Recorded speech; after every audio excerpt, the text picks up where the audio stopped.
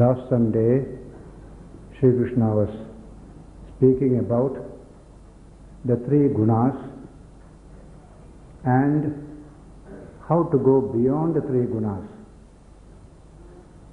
The whole universe is interpenetrated by these three forces, sattva, rajas and tamas. They are there in us also. And they produce various states of mind by their presence in man in a very big way. If sattva predominates, certain behavior and certain state of mind. If rajas predominates, something else. If tamas predominates, something else. Knowing this, we have to manipulate our own inner life to see that we have less and less of tamas, less and less of rajas, more of sattva. That is a great state in itself. But the higher state takes us even beyond sattva. The Atman is not subject to any gunas. When you realize the Atman, you go beyond the gunas. So that concept has been introduced in the second chapter of the Gita and now it is being discussed in a bigger way. Triguna Atita. Atita means above, transcendental. Of Triguna, three guna. You transcend the three gunas. Ramakrishna's parable I recited last Sunday that Sattva also is a thief, but a kind-hearted thief, a robber. Rajas is also a thief, but a little more rough. Tamas is a very bad thief, will rob you, kill you, all sorts of things he will do. So this story of Ramakrishna gives us the relative values of these three functioning in a human system. A tamasic type of person, Ramakrishna says, if a thief enters and takes a few things from the house and he is caught by the owner, that man will give a good beating to him and finally take him to the police and so that he may be put in prison. He is beaten enough, why carry to the police station again? That's called his rajasic. He has no compassion. So you can see tamasic, rajasic type behaving in the human situation and the sattvic type behaving in the human situation. In fact, in all civilized societies, more of sattvic types are present. Even a criminal we have to treat with some respect, especially when he is not convicted. When you, I told the police when I was speaking to them, when you catch a criminal or alleged criminal and ask him to get into the van, police van, you can tell it in a nice way. Please get into this police van. But we don't know that. We just kick him into the police van with all the roughness. But why? What is the necessity? His punishment comes later. Why do you punish here? Respect him. He is a citizen of your own country. Now, in these matters, human behavior has to undergo a big change before we can become truly civilized. We are very rough in dealing with other human beings. A little element of sattva must come into our life. This, when the people think about it, they get the impulse to change from tamas to rajas, rajas to sattva. That's the importance of this science of the three gunas. They are there in animals, in cosmic areas, as well as in human beings. They, are, they interpenetrate the whole of nature. Nature itself is composed of the three gunas, sattva, rajas and tamas. And so, coming to this type of discussion about the three gunas, we find Arjuna asking this question, what is the nature of a man? Who has gone beyond the three gunas. We see people with all the gunas. Various types are there. If there is a type which is beyond the three gunas, I would like to know how does he behave, how to understand him, etc., etc. And I said, this kind of question had come in the second chapter towards the end, when he spoke of buddhi, steady buddhi, sthita prajna. He said, what is the nature of a sthita prajna? We don't find sthita prajnas everywhere.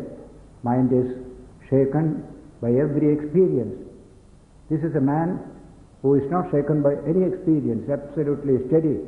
What is the nature of that person? The last few verses of the second chapter were devoted to describing the nature of a sthita prajna. Sthita means steady. Prajna means mind or wisdom. A steady wisdom. Then this triguna idea came later on here and there. Now this chapter is entirely devoted to the three gunas. And the last part of it says, what is the nature of one who has gone beyond the three gunas? Sri Ramakrishna refers to this in the Gospel of Sri Ramakrishna. You will find children up to the age of five, they are beyond the three gunas. Is Ramakrishna said. These gunas begin to operate only they are after five years. They are spontaneous. They are absolutely living a free life. That's the nature of little children. So in India, the Paramahamsas, those who go beyond the three gunas, those who go beyond even the mind, highly spiritual, they are compared to children of five years old. These children are absolutely pure. They do not know how to be clever, how to hide and all that. They are just open, like that. I remember one story during the evacuation, during partition of India. One child saw his father a little frightened when he got into a ship in Karachi which I had arranged for him to migrate to India. He was an engineer. And when some Pakistani volunteers came nearby, naturally father became a little worried. What will happen? They may take me out. He's an engineer of the state. I told him, don't migrate till I tell you. When things are very bad, I will arrange for your migration. So at this time, he became slightly worried. And this boy saw him, Father, oh, you have been bunking? How did you do that? the child is asking straight away. You got frightened? Like that. That father told me this story. That is our children. Absolutely straightforward, no chalaki, nothing is there. This is the nature of little children. They are like the sages, absolutely. And sages like to keep children with them because they are absolutely pure, they are beyond the three gunas, etc. That is Sri Ramakrishna's example given in the Gospel of Sri Ramakrishna. Here, Arjuna asked this question Kair Kairlingaihi त्रीन् गुणान् एतान् अतीतो भवति प्रभो किमाचार कथं चेतां श्रीगुण त्रीन् गुणान् अतिवर्तते कैर्लिङ्गैः by what indications says त्रीन् गुणान् एतान् अतीतो भवति प्रभो by what indications can we understand that a person has gone beyond the three gunas. Kimachara katham chetan three gunan adivartate. Those who go beyond the three gunas, how do they function? How do they behave? Their conduct and behavior from externally, how can we understand them? This much is the question. And Sri Bhagavan Vacha. Shri Krishna reply. प्रकाशं च प्रवृत्ति मोहमेव च पांडव न द्वेष्टि संप्रवृत्ता न निवृत्ता कांक्षति three things associated with three gunas we have studied earlier verses one is called prakasham illuminating attitude light inside the sattva produces a light inside luminous mind.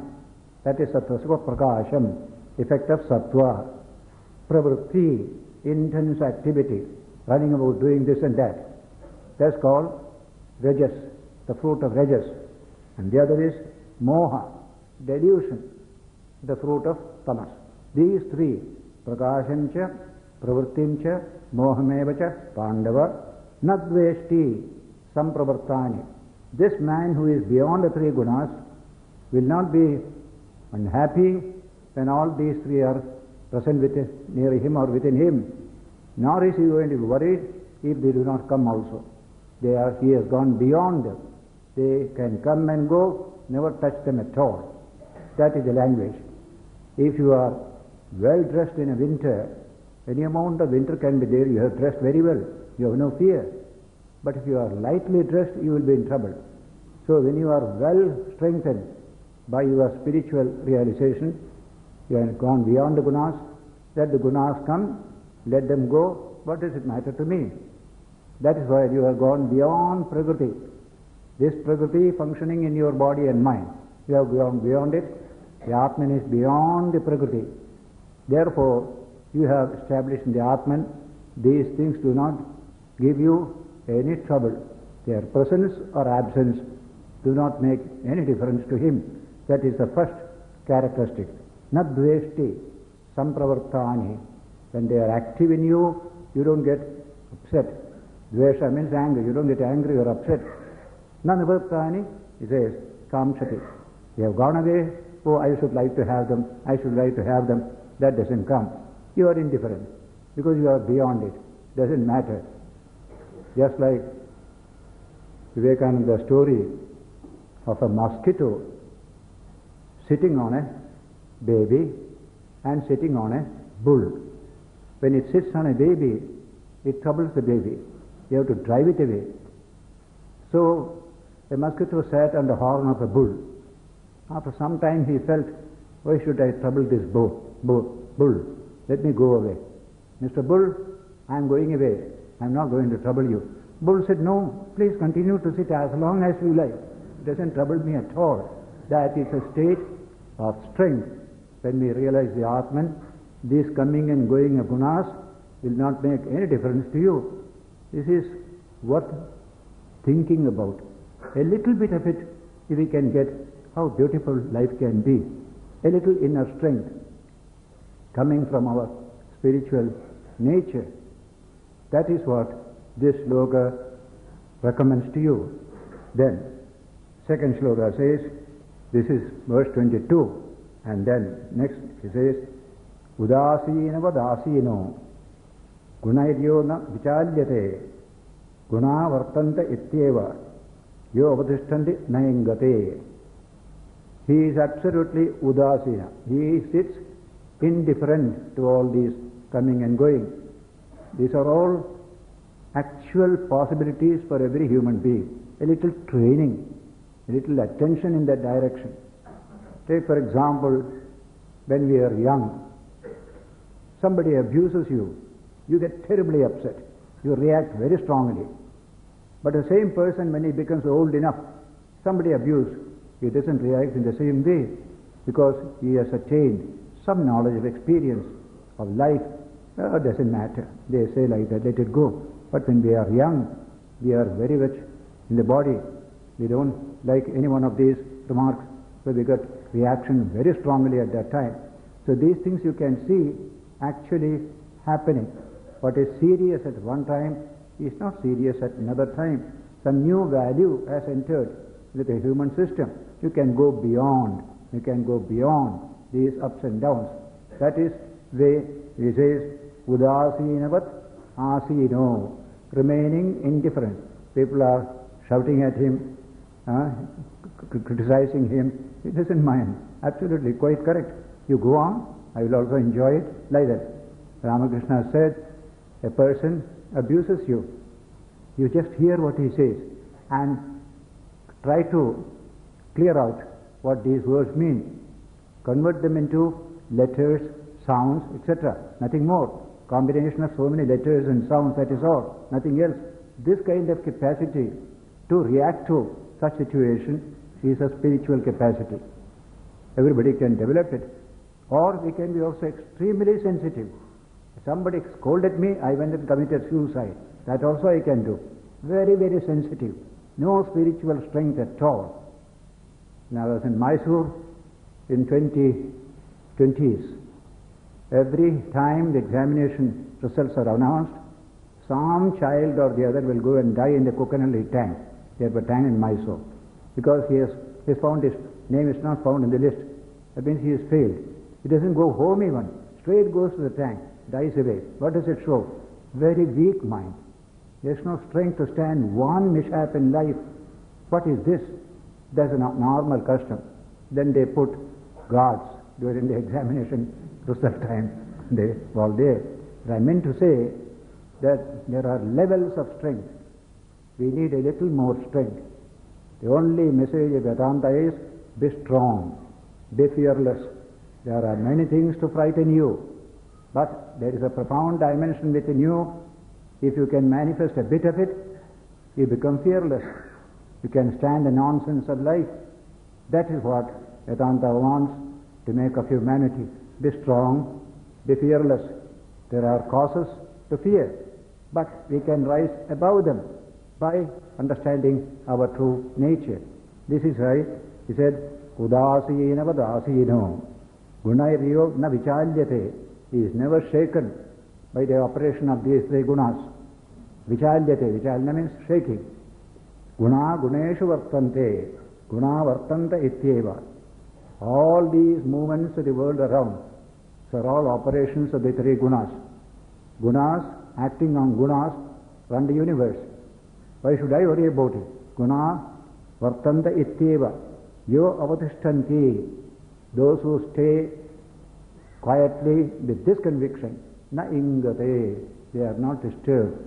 They are not shaken at all. That is a type of achievement which is very much needed in human life. That's why characteristic also means the same thing. We are not petty small thing. What you call we are not mimosa pudica, that little plant. If you do throw your air on it, it becomes like this, half dead, gone. After some time it comes to life. We are not mimosa pudica. We have got some strength within it. That's a wonderful idea. Then, samadukha sukha sastha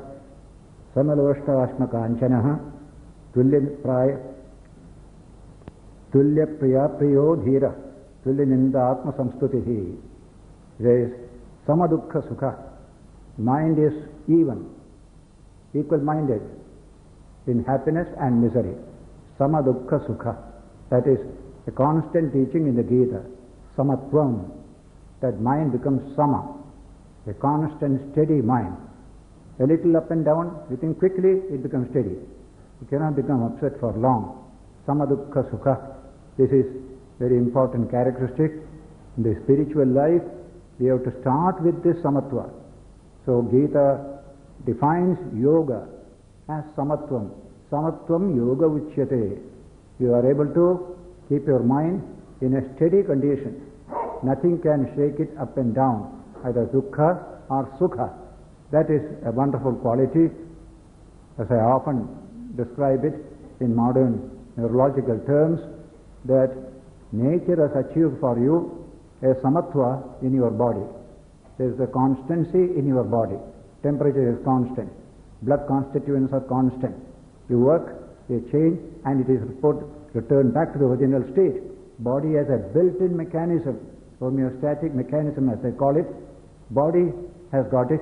Who got it for you? Nature. Nature has done it for you. Now you do for yourself this higher level of homeostasis. The mind is steady. It is built-in mechanism to make it equilibrium. That is your responsibility. Shama and Dama, two great words in Sanskrit, control the mind, control of the sensory energy system. If you have this, you have that kind of samatva within your system. Without this samatva, no higher life is possible. This is a dictate of neurology. In fact, that book on neurology, The Living Brain, by the Grey Walter, he quotes the great teacher, Sir Joseph Barcroft of Cambridge University, who was his teacher. who said, a, what you call equanimous context is essential for the free life. That's the language. Without that equanimity within, free life cannot be, higher life cannot be. The highly choppy wave system in Atlantic, when you take your boat across, cannot create ripples. Ripples should be only in a calm lake. Those ripple systems are very important in all scientific thought. So ripple system is produced only when the lake is calm and your boat goes in that calm lake. So when the mind is calm, great things come, great new developments come. So this is a very important statement in neurology. So here also Krishna says here, Samadukha Sukha Swasthaha. Swastha means steady, living in yourself, not shaken out of yourself. Swastha. Huh? Be established in yourself. Swastha. Samaloshta Ashma Kanchana. The mind has an equal reaction to Loshta Ashma Kanchana. Maybe a stone or a piece, a little bit of uh, mm, earth as well as gold. In all these things, mind doesn't make much distinction. He has developed that equanimous attitude.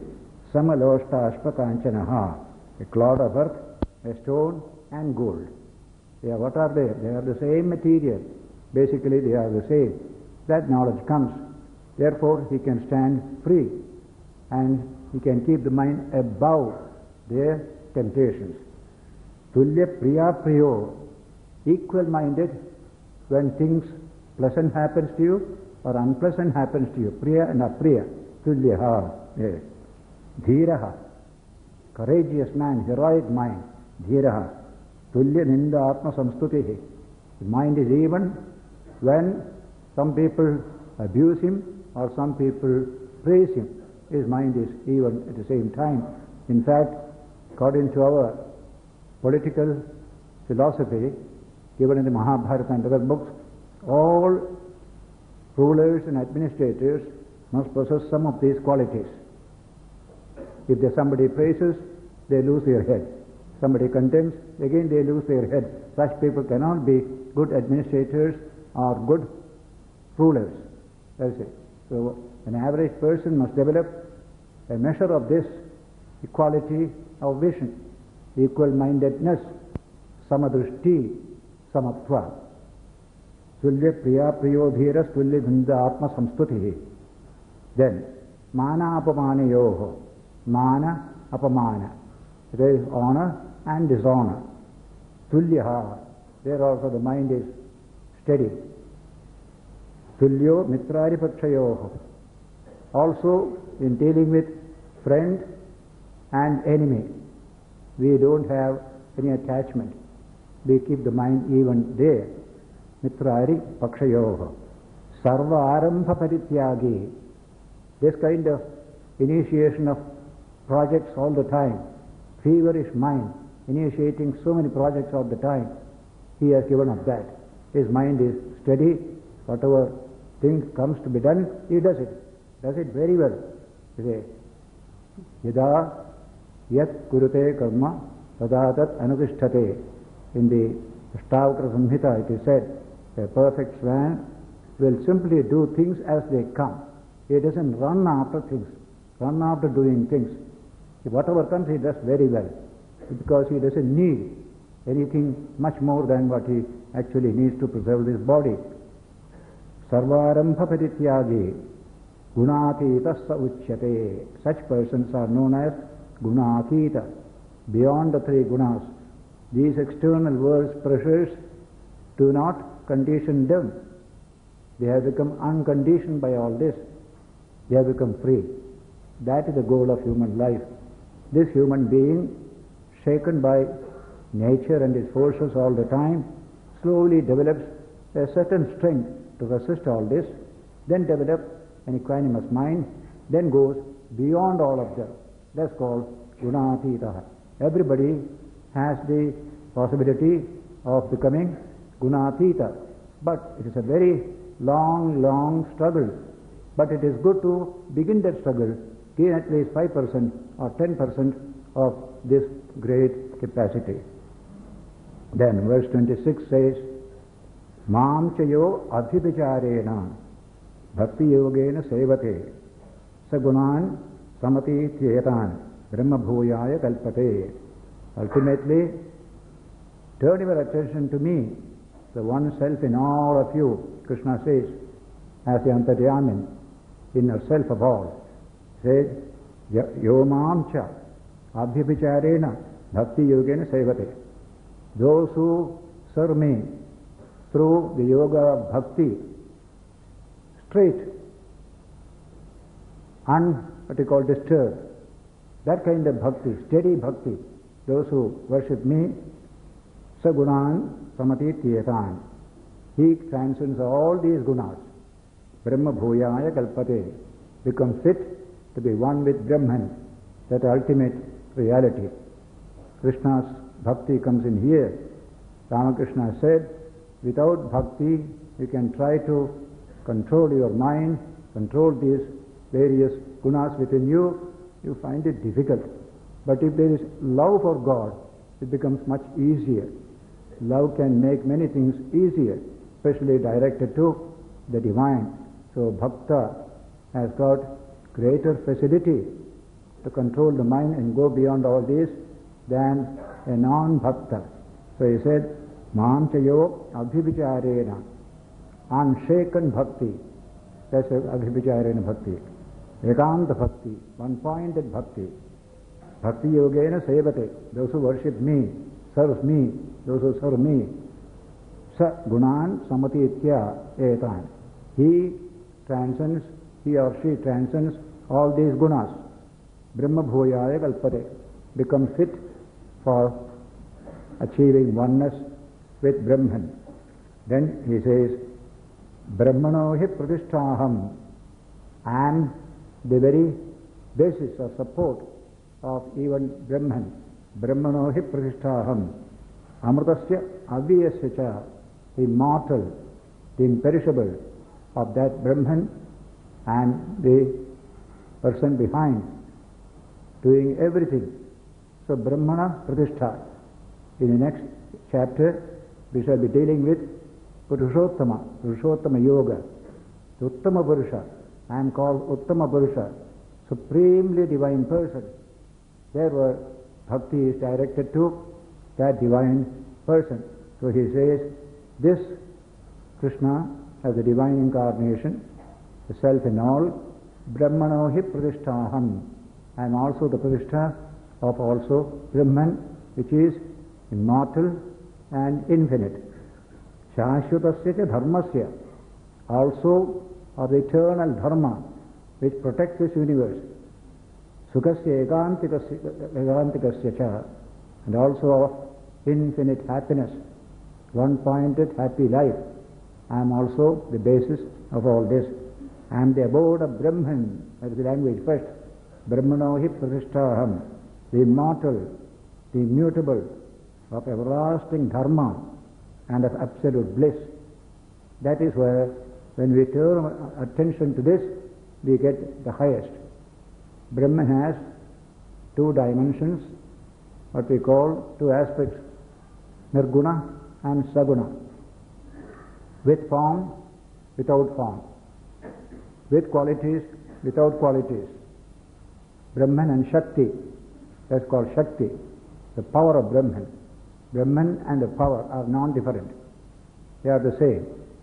Just like Ramakrishna calls a snake coiled up is the Nirguna Brahman. The same snake in movement is called Saguna Brahman. The same snake. When it becomes the universe, it is called Saguna. When it is beyond this name and form, it is Nirguna. It is this wonderful Brahman that comes through Shakti as an incarnation of the divine. He can say, I am one with the highest. He has every right to say so, because he is like that. He is not physically conditioned. Though as a human being, he behaves like all of us. This was subject we studied in the fourth chapter of this Gita. the nature of an incarnation, how difficult to discover his infinite dimension, we see only that finite dimension. The highest is manifesting through that particular person. And so the chapter ends with the statement, Brahmano hi pratisthaham, as a Purushottama, I, am the Uttama Purusha. There is it. Avyayasya cha, mortality and infinitude. Similarly, Shashvatasya Dharmasya, of the eternal Dharma which sustains this universe, we call in India our religion as eternal Dharma, Sanatana Dharma. It has no name, it has no location. It is Sanatana Dharma. It cuts through all the various religions of the world. Sanatana Dharma you can see in every religion. Here it is Sanatana Dharma. Other things, rules and regulations called Yuga Dharma. A dharma for a particular people, particular age, how to dress, how to eat, how to perform marriages. All these are called Yuga Dharma or Smriti. This is called Shruti, eternal Dharma, dealing with eternal verities which are true, which you can test and verify. So the other is personal preference. This is truth as it is. These are two different things. What you call matam and tattvam. Matam is personal preference. I like this food. I like this way of dressing. It's up to you. You are absolutely free. You can change it also. Therefore it is called matam. The other is you have to conform to it. It is a truth. You have to realize it for yourself. That is why it's called tattvam. 2 plus 2. 2 plus 2 is 4. Is tattvam. You can't alter it. But in other cases, you can alter many things. So, we made a distinction between matam and tattvam. Matam is always plural. Tattvam is always singular. There is only one tattvam. Fire is hot. It's a tattvam. You can't change it. That is in physical life. Similarly, the infinite Atman, ever pure, ever free, that is our true nature. That is a tattvam about man. The other is all matam about human being. We are weak, we are small, we are this, we are black and white. These are all matam. That is tattvam. That tattvam we have to realize. So tattvadarshi, we call it. One who realizes this truth is called tattvadarshi. That is why when Vivekananda was speaking in America, during question time, somebody put this question. Are you not preaching Swami some sort of hypnotism? He asked this question. Straight came the answer. No, I am dehypnotizing you. You are already hypnotized. I am black, I am white, I am this, I am that. You are not. You are that eternal reality, the Atman. That is your true nature. So our work is to dehypnotize you. That is true religion. And so, here also, the same. Every one of us has a lot of hypnotic influences on us. That is what makes us come to quarrel and fight. A little search for the tattvam, a little scientific mind, scientific use in the widest sense, search for truth, search for truth. That is science. What is the truth of a thing? We simply say, oh, I believe is so and so. But belief you can have any number. Is the belief true? You must ask that question. That's where you come to science. That is Vedanta. We deal with Tattvam. Tattva Shastram, it means that. So we made a distinction. Therefore, we allowed changes in the Smriti, in the Yuga Dharma. They are changing, changing, changing. But Shruti is eternal, steady. That's called Sanatan Dharma, comes from the Shruti, nature of the Atman, nature of interhuman relations, nature of the supreme reality. These are all Shruti. These are all Tattvam. You have to accept them and test them and verify them for yourself. But a, a Smriti teaching cannot be verified. You only to obey. You only to believe. This way you must put your shirt. You must put a shikha in your head. Such a Smriti we had there. Now we have given up all that, all that putting a shikha, etc. But Sanatana Dharma doesn't go when you cut off your shikha. You can cut off any number of shikhas. Sanatana Dharma will not die because it is based on something else. One grandfather went to fast when his grandchild cut off his shikha one day in Mysore, 60 years ago. He had to persuade him, don't do so. These are all changing times. Somebody likes to keep it, somebody likes to throw it. There is enough provision in our Shastras against all these things. This is only Smriti, but not Shruti. So a little bit persuasion, he gave up the fasting. We have passed through all that stage, but this understanding has kept us steady. Shruti and Smriti. Smritis are multiple and many. How many Smritis we had? And now all the Smritis have gone. We have got our Hindu code bill and a constitution. That's the Smriti by which we live. We can't break any rule of this constitution. But the Shruti is eternal.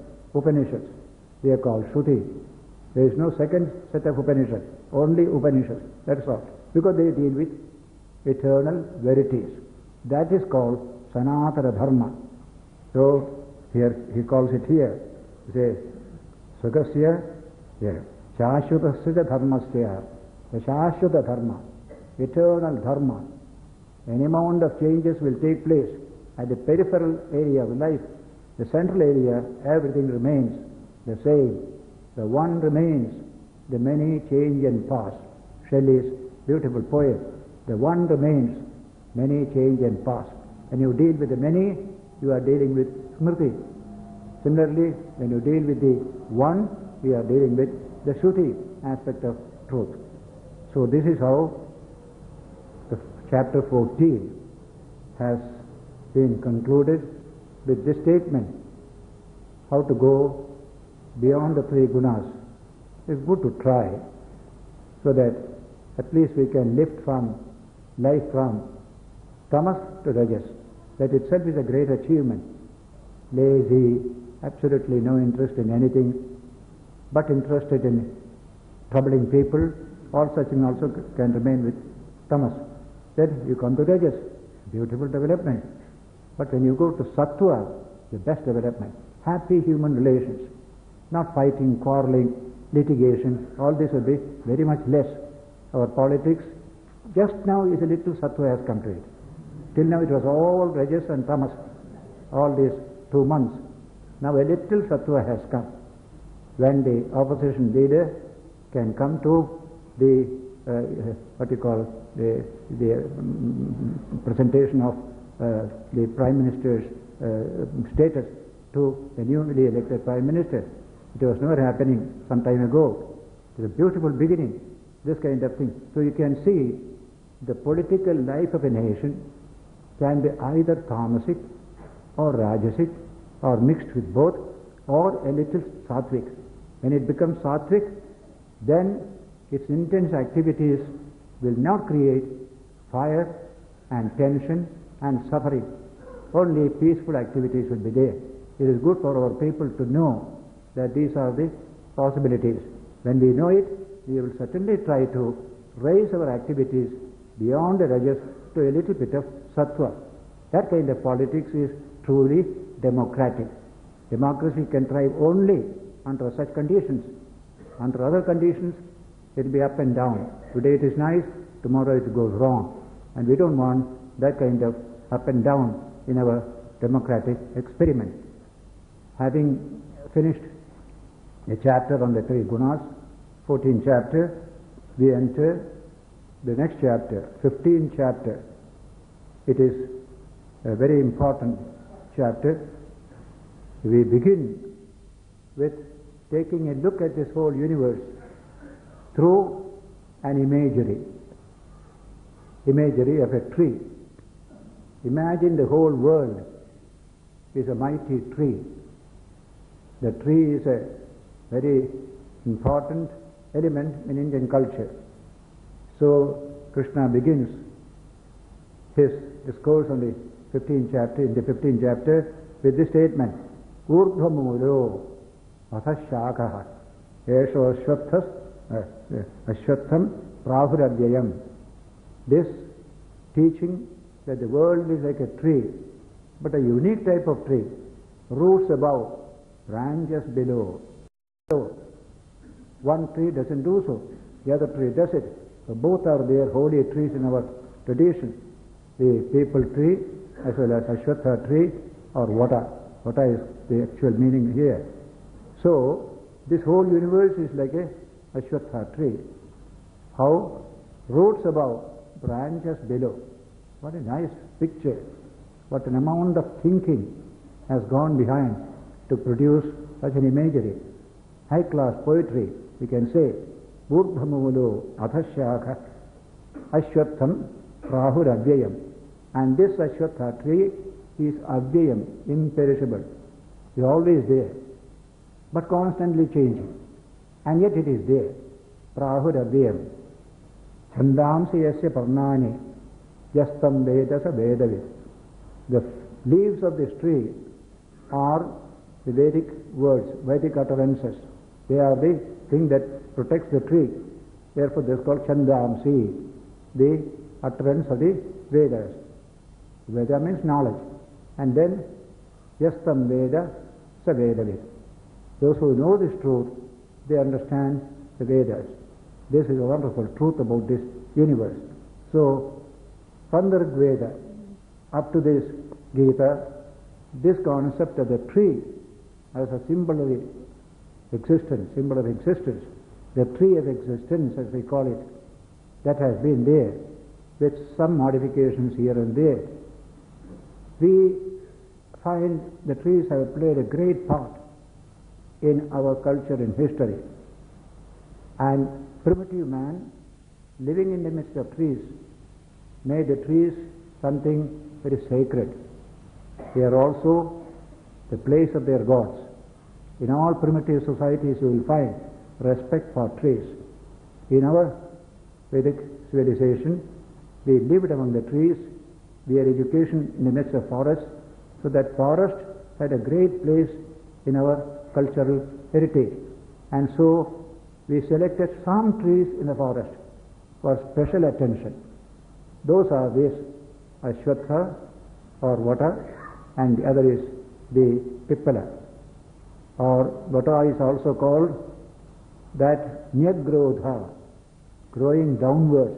Nyak means down, Grodha, Nyagrodha. These are the words. Now these are highly holy trees in our whole tradition. We go around the tree. At one time, many of our people used to go and worship the trees on which yakshas and yakshis used to live. Yaksha worship was common during Buddha's time. Out of this, we developed a philosophy. We did not leave it at that stage. We applied the great Vedantic thought to these great experiences of the people and produced a remarkable philosophy out of it. So this tree is what is holy to us. Later on it became still more holy when Buddha sat under the Bodhi tree and attained illumination. From that time, this Bodhi Vriksha, Kalpadhruma as we call it, this became very, very holy all over India. And uh, in this tree, there is sacredness because Buddha became enlightened under that tree. So, trees played a great part in our thinking. There are many other references in the Vedas and in the Mahabharata of how the trees became the abode of God, abode of gods, etc., etc. That is called the sacredness of the tree in Indian tradition. But also other parts of the world. Trees are highly sacred. As I said, in all primitive communities, trees are very sacred. It is only in the Semitic religious communities you don't find much sacredness given to trees. Only sacredness is only for the God. That's all. That one God. That alone is sacred. None of these. But in all primitive societies and in India, trees play a great part. First of all, they are very helpful to man. Secondly, they are the abodes of their gods. Thirdly, you sit under a tree, you get illumination means that tree has got a great value. In this way, trees became very sacred in India. In Europe, in Scandinavia, tree has got very high status. Especially one tree, they call it Yggdrasil, the ash tree. That is considered to be very sacred in Scandinavian mythology. And Carlyle has written a very beautiful paragraph about the nature of that Yggdrasil or the ash tree.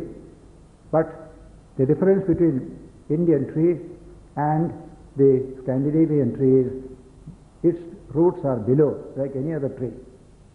But in India, they put it root above because philosophy came to handle this subject of the holiness of a tree. And philosophy found from the cause the effect has come. The effect is visible, the cause is not visible. And therefore, in that invisible world, beyond time and space, is the root of this tree. And into time and space, that root grows into a mighty tree. So downward, neck downward. That is how this tree has come. This is called in two expressions. One is called Samsara Vriksha, the other is called Brahma Vriksha. When you look at it from the tree that is spreading all over here, then you call it Samsara Vriksha. When you think of the root of this tree, you call it Brahma Vriksha. Both appellations are correct. Samsara Vriksha and Brahma Vriksha. So now we are dealing with Samsara Vriksha. Come. This is called in two expressions. One is called Samsara Vriksha, the other is called Brahma Vriksha. When you look at it from the tree that is spreading all over here, then you call it Samsara Vriksha. When you think of the root of this tree, you call it Brahma Vriksha. Both appellations are correct. Samsara Vriksha and Brahma Vriksha. So now we are dealing with Samsara Vriksha. From the one, the many have come with all the differences. This is called the cosmos today. we are caught in this cosmos. We are treated like birds sitting on this mighty tree, making, eking out our livelihood, quarreling with people, fighting with people, enjoying dance, singing, everything. The whole tree is a wonderful context of human life. Then the Gita will say, but this tree you must use to find out what is its root. The tip of the tree must give you an understanding what the root of this tree, what is behind this tree, what is behind this manifestation. That is the biggest inquiry of the human mind. We can study the tree, how many branches, what type of leaf, flower, etc. That study must lead you to the nature of the seed behind the tree or the root behind the tree. Shankaracharya mentions it. Toolavadhareneva eva moolavadharanam kriyate vrikshasya loke in the world by studying the small leaves of a tree, tip of the tree, we study also the root of the tree. That kind of study you have to undertake. Seeing the effect here, you study the cause. If this is effect, what is the cause? What is behind it? That is a perpetual human question. And that is what throws out science, philosophy, all these things. What is this world? What is behind it? What is the root of it? That kind of question. In India, this was taken up by very great sages, highly intellectual, most capable people. They produced a remarkable system of philosophy and mythologies which illustrate this high philosophy. Some of the mythologies are very, very significant from that point of view. And what beautiful imageries come out of it. The Rigvedic imagery developed in the Mundaka Upanishad later on speaks of a tree on which two birds are there. One, the jiva, the human soul, the other, the ultimate reality, Brahman or the Atman. That's a wonderful example given. Mundaka Upanishad explains it very nicely there. So these are the imageries used to illustrate this teaching. It's a very difficult teaching, very difficult to understand, but a little illustration will make it easier. So they brought these imageries of the two birds, etc. And here the whole universe is treated as a tree. Urdhvamulam, avashakham, ashwatham. This ashwatha, which is urdhvamulam and avashakham, avyayam, imperishable, immutable, It's always there. People come and go, but the tree remains. Leaves come and go, but the tree remains. That kind of thing. Chandamsi yasya parnani. These Vedic utterances are the leaves of this tree protecting the tree. It is the leaf that protects the tree, bringing all the energy needed for the tree. Chandamsi yasya parnani. Yastam Veda. He who knows this truth, the really he is a Vedavit. He is a knower of the Vedas. This is the first verse. This is an adaptation of the Kathopanishad, last chapter. Ashwatha is a, the same language used there. There is Urdhamulo Avakshakaha, Esha Ashwatha Sanatanaha, Tadeva Brahma, Tadeva Satsatyam, Tadeva Amrutamuchyate, Tasmin Loka Shuta Sarve, Nadu Nasya Kashana. That is the tree. Roots above, branches below. Urdhamulo Avakshaka. Ashwatha Sanatana. This is Sanatana Ashwatha tree. Tadeva Shukram, Tad Brahma. That alone is a pure. That alone is Brahman. Tadeva Amrutamuchyate. That is truly the immortal. Tasmin, everything is centered in that particular tree. That's what the Kathopanishad started with in that chapter. Similarly, here also this idea is expressed and now in this tree, in Shankara's commentary on the Kathopanishad, there's a detailed description of the nature of a tree. A tree, I have seen some of the big banyan trees full of birds on it and enjoying, quarreling, fighting, everything is done as just a whole world as it were. You can see that. So just imagine the world is like that tree. We are all working here. Here people are dancing and singing. Here they are quarreling, fighting. People are dying. People are born. All that is going on. The whole thing compared to a mighty tree and we are all in it. Some people want to know what is the origin of this tree? Where does it come from? Some people, they become philosophers. They become scientists. They try to understand the root. Among such, the great sages of the Upanishads discovered the root of this tree as Brahman, the infinite, the immortal. And from the root has come the whole of this universe. Therefore, the universe also is sacred. Because it has come from the infinite, it is also very holy and sacred. Therefore, we call it Samsara Vriksha and Brahma Vriksha. Both ways we speak of it. That is why the greatness of the world in which we live, we understand, after understanding the root of this tree, a seed contains the entire possibilities of a mighty tree. The seed is invisible. Nothing you can see in the seed. But once it develops as a tree, you find myriads of manifestations of branches, twigs, leaves, flower, fruit, etc., etc. So the universe is just the same. From Brahman, the universe has come in a process of evolution. And ultimately you find such diversity. But don't be frightened. Behind this diversity, there is unity. From one, the many has come. And to the one, the many will return also. In this way, the high philosophy developed and to illustrate it, they took these examples like the Vriksha, Kalpa Vriksha or Bodhi or this Ashwatha, etc. Next Sunday, we shall continue with the same topic.